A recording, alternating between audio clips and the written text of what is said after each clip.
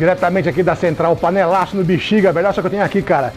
Dividir e conquistar o segundo álbum do Dorsal Atlântica, cara. Eu gosto desse disco pra caramba, é o meu favorito. Eu gosto dele muito mais do que o primeiro disco deles lá, que é o Antes do Fim. Por quê? Porque aqui tem uma evolução desse batera aqui, ó. O Rabicó, ligado? Esse disco ele é bem mais elaborado, falou? É, a capa e tudo mais. Esse disco em um dia vendeu mil cópias na galeria quando saiu em 88. Ele foi gravado em 87, mas só foi lançado em 88, cara. Falou? Esse disco é maravilhoso, cara. Músicas como Metal Desunido, Lucrécia Borgia e outras, cara, assim, embalam a cabeça de qualquer headbanger, cara. O nosso amigo Carlos Vândalo, cara, papai recente, recentemente tentou voltar aí com o Dorsal Atlântico 2012 pioneiro, cara. Eles fizeram aquele crowdfunding, cara, e conseguiram mais de 40 mil reais, cara, pra fazer a gravação do disco.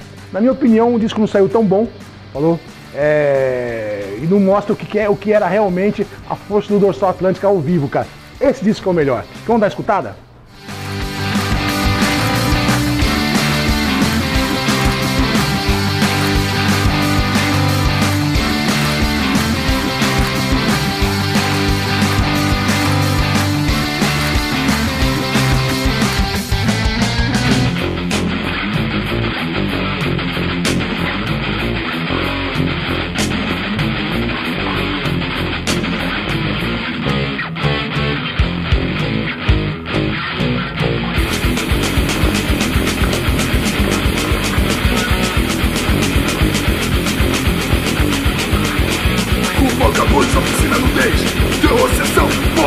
Serviço Pensou em Deus, na mulher, nos filhos Ninguém vem, ninguém sabe Todos que suportaram a tortura mentem E os que não puderam suportar mentem também O medo da dor é mais forte que a própria dor Tortura não passa de um ato sexual